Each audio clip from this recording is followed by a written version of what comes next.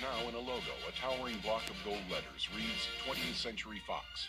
Hollywood spotlights crisscross their shining skyward beams. More words appear. A News Corporation company.